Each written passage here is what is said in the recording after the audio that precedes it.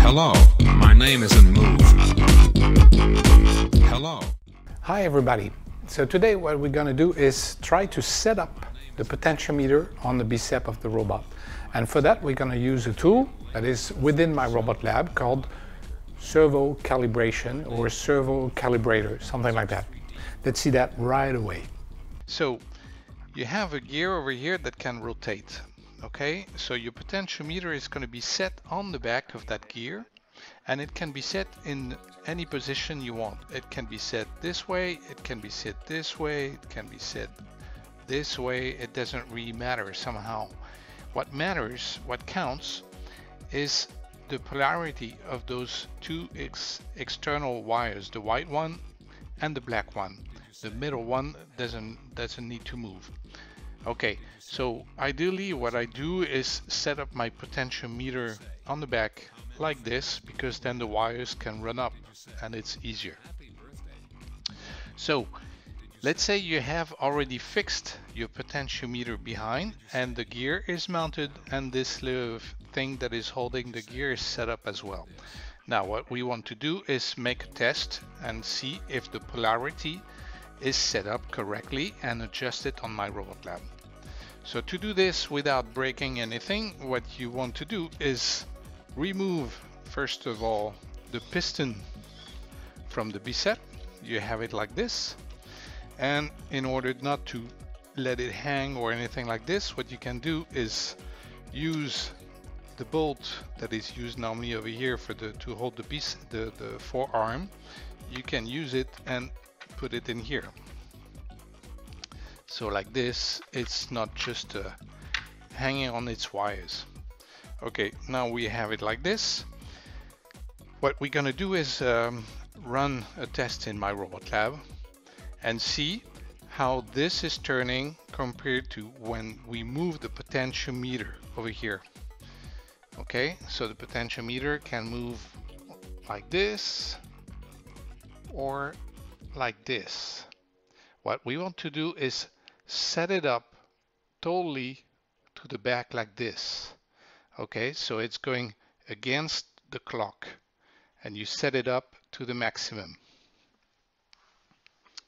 Let's see now with MyRobotLab. So we're going to use MyRobotLab and there's a little tool in MyRobotLab that allows to uh, calibrate our servo motors. So I'm going to open my folder in which one I have MyRobotLab and select tools and servo servo calibration. Double click on it and it starts MyRobotLab automatically. It sets an Arduino and a servo. So the Arduino I'm gonna click on the tab and select the correct Arduino. If ever it doesn't show anything yet over here, you can refresh and then it will show the Arduinos that are connected. Here in this uh, demo uh, tutorial, I'm expecting that you already uploaded this code into your Arduino to, uh, to run uh, MyRobotLab. There's other tutorials for to do that. Anyway, so here I'm going to select the correct Arduino to move the left bicep, which I'm currently um, setting up. So I select my Arduino board.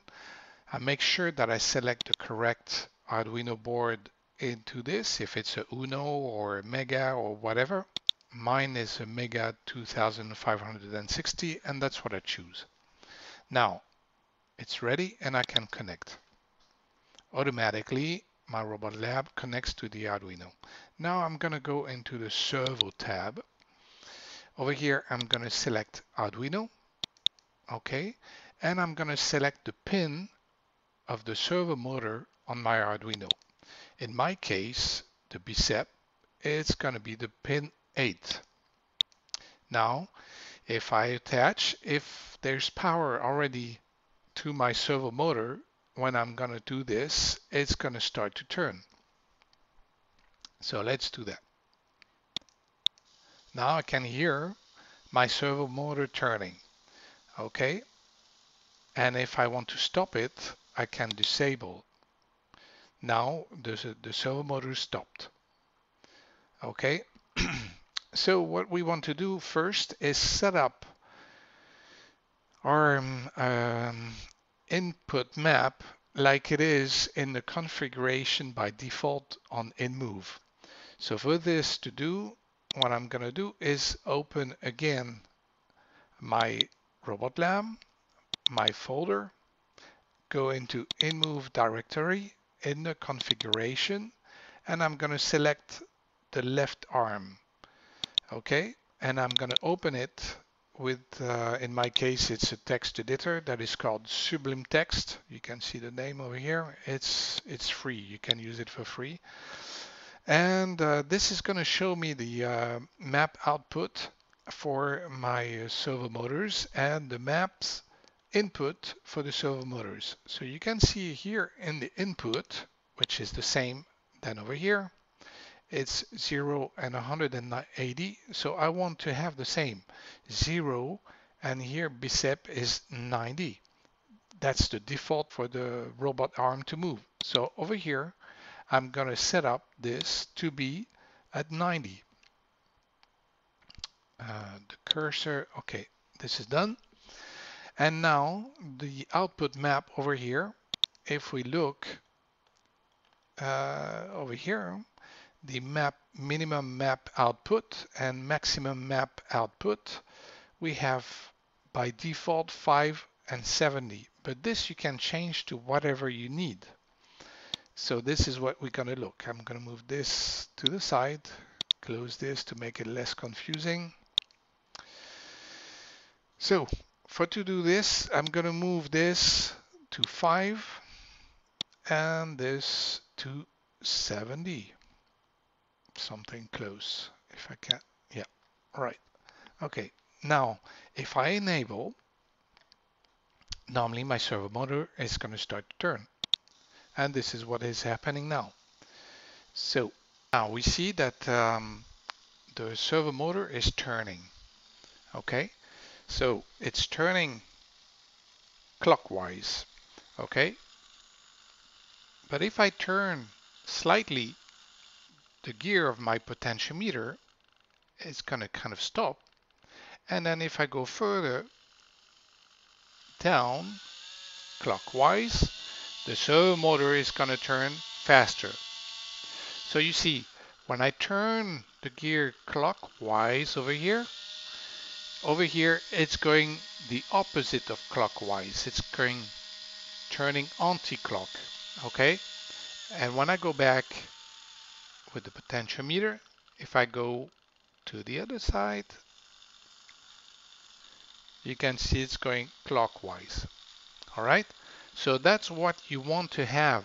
If this is not happening, if when I turn this, it doesn't turn anti-clock over here, that means your polarity of wires on your on your potentiometer is uh, inverted. So you need to desolder and solder the two wires in order to have the um, the white one instead of the black and the black one instead of the white one. So let's see what is next now. So next what we want to do is rebuild back the bicep. So for to do so, we're gonna remove this bolt and mount back the piston into its socket. So I'm going to turn it by hand. Uh, I went a little bit too far, yeah, like this. And once it's put back like this, I'm going to still screw it a little bit up like this. All right. What we want next is um, mount back the forearm. And what, uh, what we want to make sure is that we didn't move this little gear. So this gear is set up like it was, anti-clock, okay, to the maximum. And over here, you see on the back of this gear, there's a gap. And this gap should should touch over here when I'm going to put it back together. This is quite important because this, when it's touching this, this is the maximum position open for the for the arm and for the bicep. So I will put this back together like this, making sure that the gap over here is at the minimum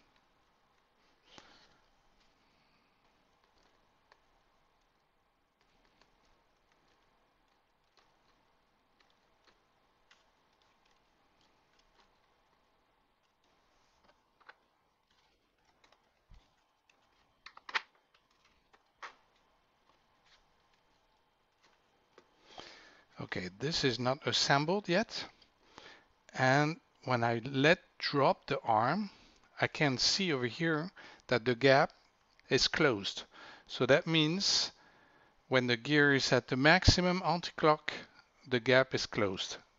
You can see the lining of the arm, it's almost almost uh, straight, if we would call that straight. And if I turn it manually like this, then the potentiometer can rotate. Now what we want to do is just connect this together like that. Set up the bolt. And now we are ready to test with the tool calibration and to make sure that uh, the adjustment of the potentiometer is going to be set in the um, mappings. Now back into MyRobotLab. If I click on enable, automatically the servo motor is going to be powered. So if anything is wrong, it might break something. So always make sure when you make this kind of test to have a hand on your power source so you can disconnect the servo motor easily or just uh, any switch, you know, like a panic switch. Anyway, so when I enable this, the servo motor the servo motor is going to be under power. And you can see over here it's doing it. So when I move this the uh, cursor over here automatically the arm is going to move. And you can see that it's moving up. So now the potentiometer is correctly set and it's working correctly in the right direction. Okay, what we want to set now is to make sure that the output map fits exactly the maximum and minimum of your servo motor. So when I set up to zero over here, I already have five over here. So I'm making sure that it's not pushing too hard. What we can do is set up this to let's say 16 and we try again to move. And when it's going to zero, you can see it doesn't go all the way down. The arm is not going all the way down over here. So once again, what we want to do is reach the minimum gap over here. So when I had five, I was pretty well set up. Okay. And if I move up my arm to the maximum, like this, I want to make sure that it doesn't break anything and that the uh, piston is going almost to the top, to the maximum. And this is with 70 on my setting. It was a security, but I can go up a little bit and I'm gonna go to 80 and check out. And I can see my bicep can go almost all the way up without breaking anything and down all the way down without breaking anything. So now that we have found the maximum and minimum output, those numbers over here, the 5 and 80, I'm going to put them into my minimum and map minimum and maximum map output in the configuration file. So I have over here five, so that's correct, five. And here I'm going to change this to 80. And then I save the configuration file.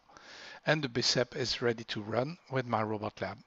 So if I close this over here and I restart MyRobotLab with all the configuration files, the BICEP is going to work perfectly. I hope this tutorial has been helpful and we see you next time for another one. Ciao. Hello, my name is Move.